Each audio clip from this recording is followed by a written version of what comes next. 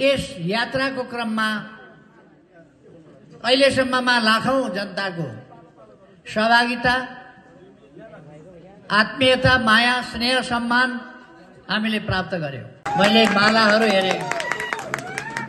म यहाँहरूलाई धेरै धेरै धन्यवाद भन्न चाहन्छु। यस ठाउँको विकास निर्माणको कुरा हामीलाई थाहा छ। मेलम्ची आयोजनाको कुरा हामीलाई थाहा छ। नेकपा एमालेको सरकार हुँदैन थियो भने मेलम्ची आयोजना त्यो काठमाडौँमा पानी झर्ने नै थियो। हामी तुरुन्तै यसलाई सफा गरेर हेडलाई सफा गरेर सार्नु पर्ने भए पनि सार्न पर्ने सार्न पो पर्ने भयो भनेर कथा हाल्न बसेर हुन्छ।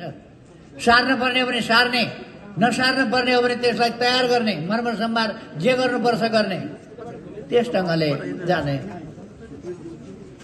र जहाँ पानी पस्ने ठाउँ छ मूल गेट त्यसलाई कति बेर बन्द गर्ने कति बेर खुल्ने भन्ने पनि सञ्चालकहरूले थाहा पाउनु पर्यो। दुनियाँमा यति सफलताका साथ कहीँ पनि भएको देखिँदैन। यहाँ त्यति सफलताका साथ भएको छ।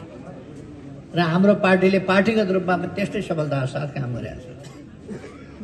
मेलम्चीवासी दाजुभाइ दिदीबहिनीहरू र सिन्धुपाल्चोक निवासी दाजुभाइ दिदीबहिनीहरूलाई म भन्न चाहन्छु तपाईँहरू निराश हुनु पर्दैन अहिलेको अवस्था हेरेर।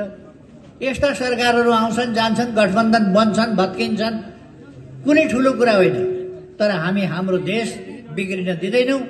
हाम्रो देश अहिले ओह्रालो लागेको छ यसलाई रोक्छौँ र फेरि सकारात्मक बाटोमा फर्काउँछौँ।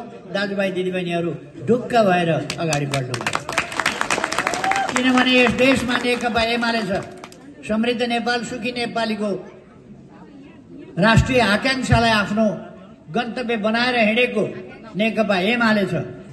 त्यसो भने खोलाको स्टडी के आधारमा गरिएको थियो? के आधारमा मेलम्चीको स्टडी गरियो? त्यो पनि थाहा नपाउने त्यसो भएर यहाँको विकास निर्माण हामीले बुझेका छौँ। यहाँका समस्याहरू बुझेका छौँ। यहाँका अप्ठ्याराहरू बुझेका छौँ।